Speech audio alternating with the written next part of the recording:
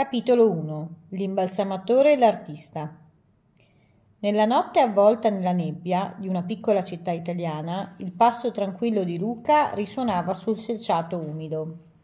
Lavorava come imbalsamatore presso le onoranze funebri Lucarda, un mestiere che gli aveva insegnato ad accettare la finalità dell'esistenza con serenità. Per Luca la vita era un tessuto di silenzi e ombre, esistendo in quella delicata soglia tra la vita e la morte. Le strade, ancora fresche dei resti di una tempesta recente, riflettevano le luci tremolanti dei lampioni, creando un'atmosfera quasi surreale. Luca camminava, perso nei suoi pensieri. La notte era il suo santuario, un momento sospeso per riflettere sulla sua vita intricata eppure semplice. La notte è diversa, mormorava a se stesso reveals things in a different light. Mentre vagava senza una meta precisa, una figura solitaria attirò la sua attenzione. Seduta su una panchina sotto un albero spoglio c'era una donna, avvolta in un cappotto scuro, i capelli che cadevano liberamente sulle spalle. C'era qualcosa di ipnotico nella sua presenza, una quiete che contrastava con il caos silenzioso della notte. Spinto da un impulso incomprensibile, Luca si avvicinò. Lei sollevò lo sguardo, i suoi occhi come pozzi profondi pieni di storie non dette. Sembri perso, disse lei con una voce che ricordava una melodia dimenticata. Forse lo sono, rispose Luca sedendosi accanto a lei. Mi piace camminare di notte, osservare le cose e pensare alla vita. Perché sei qui da solo in questa notte? chiese lei incuriosita. La notte mi dà pace, mi permette di pensare. E tu perché sei qui? Sono un artista, una pittrice. Vengo qui a cercare ispirazione, a sentire le voci della notte, disse lei con un luccichio negli occhi. La loro conversazione iniziò con cautela, poi crebbe in apertura.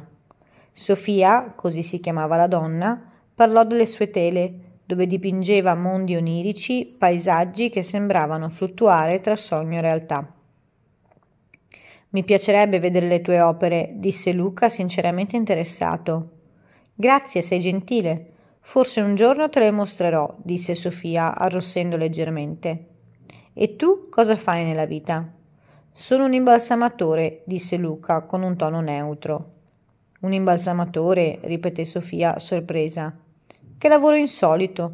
Non ti fa impressione? No, non più. È un lavoro come un altro, solo che richiede più rispetto e delicatezza. Mi piace pensare che aiuto le persone a salutare i loro cali in modo dignitoso, disse Luca con una nota di orgoglio. Capisco, devi avere una visione molto profonda della vita e della morte, disse Sofia ammirata. Non so, forse, ma mi piace anche la vita, le cose semplici, le piccole gioie come questa notte per esempio, disse Luca guardandola negli occhi. Intorno a loro la città dormiva profondamente, abbracciata da un silenzio quasi palpabile, interrotto solo dal sussurro del vento che giocava tra le foglie degli alberi secolari. Sofia, con i suoi occhi scuri e penetranti, sembrava una figura tratta da un sogno. I suoi capelli neri, lisci e lucenti cadevano fluidi lungo le spalle, dando vita a un contrasto affascinante con la pallida luce della luna. C'era qualcosa in lei di indenificabilmente magnetico, un senso di profondità insondabile che avvolgeva ogni suo gesto e parola. Luca, al suo fianco, ascoltava in silenzio, completamente assorto. La sua professione di imbalsamatore, lavorando presso le onoranze funebri, lo aveva reso maestro nell'arte di preservare i ricordi, una pratica che andava ben oltre il semplice aspetto fisico. La sua vita era un intreccio di tristezza e bellezza, un costante dialogo con l'eternità e la fugacità dell'esistenza. Con Sofia Luca sentiva che poteva esplorare aspetti di sé che raramente emergevano.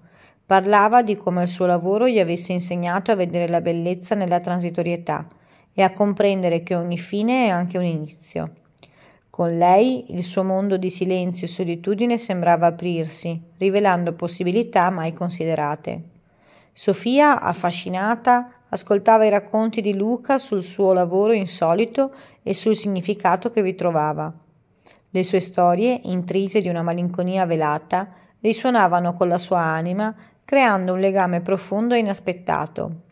Lei, a sua volta, condivideva la sua passione per la notte, per i momenti rubati al caos del giorno, dove trovava ispirazione e serenità per la sua arte. Mentre l'alba iniziava a dipingere il cielo di sfumature e pastello, entrambi sentivano un misto di malinconia e gratitudine. Quella notte, fuori dal tempo, aveva creato un legame unico tra loro, un filo invisibile che sembrava connettere le loro anime. Al momento del congedo, i loro occhi si incrociarono in una promessa silenziosa di rivedersi. Mentre Luca si allontanava, sentiva che qualcosa dentro di lui si era spostato, come se avesse scoperto un pezzo mancante del suo puzzle esistenziale. E in quel momento comprese che la vita talvolta presenta incontri che sono di più, sempl- più di semplici coincidenze. Sono piccoli miracoli, frammenti di magia in un mondo altrimenti ordinario.